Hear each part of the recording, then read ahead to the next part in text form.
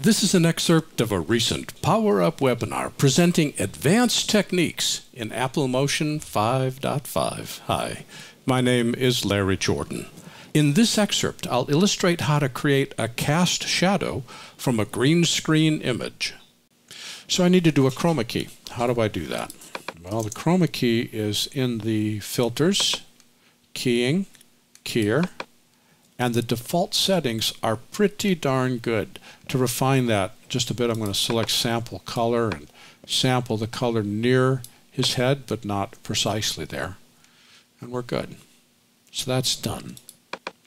We've applied the keyer and we've got a key. The problem is the video clip is longer than my project.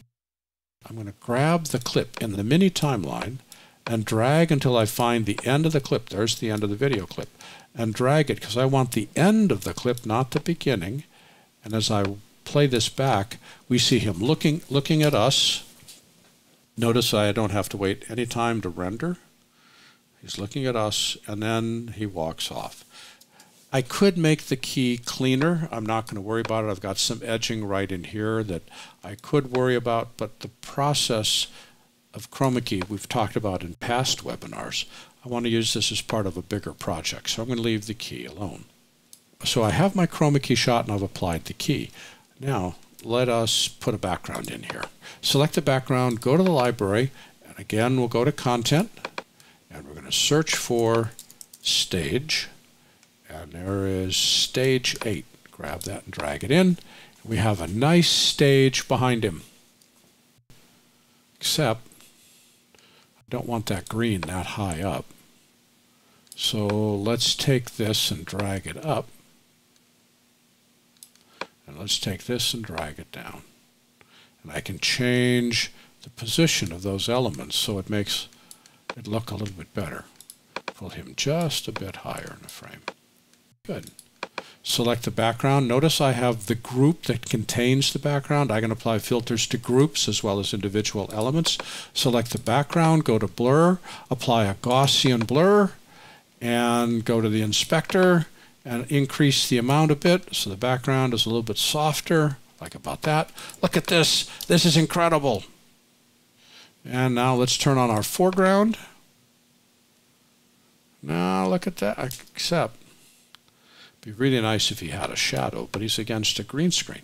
How can we possibly create a shadow? I'm glad you asked that question. Control click on the key and say duplicate. Now I have the foreground and the copy. So I'm going to turn off the foreground, keep the copy selected, apply filter, color, threshold, and we've now remapped the pixels I'm going to click on light color, go here, and just set it to black. And we now have an outline of his key. We still have his key because I made a copy right here, but I have the outline. Go to the tool palette, select distort, grab the distort and pull the shadow off to the side and stretch it out the same way as any other shadow, right about there with the shadows selected, go to filters, and now we're going to look at a different blur. It's going to be a gradient blur. This is the point where things are in focus. That's the point where things are out of focus. Grab the in focus point, put it right about there. Take the out of focus point, put it right about there, and crank the amount. Pull that farther back. There we go. Pull this down.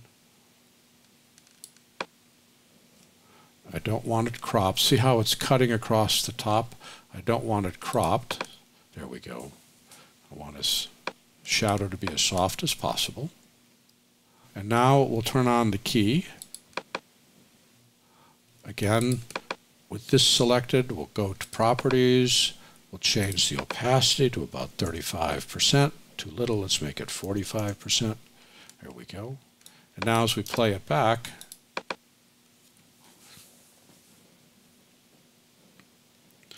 Is that not cool? This was an excerpt of a recent Power Up webinar presenting a variety of advanced techniques in Apple Motion. For the complete version of this online training, please visit my store at larryjordan.com slash store and look for Webinar 305. By the way, when you need to stretch your training dollars, membership in our video training library saves you money and time. You can access all our videos for a low monthly price of only $19.99. That's almost 2,000 movies, hundreds of hours on a wide variety of subjects. Plus, premium members can download practice media and projects. Our training covers Apple and Adobe software. We update it multiple times each month. And for more information, visit larryjordan.com slash membership. And thanks.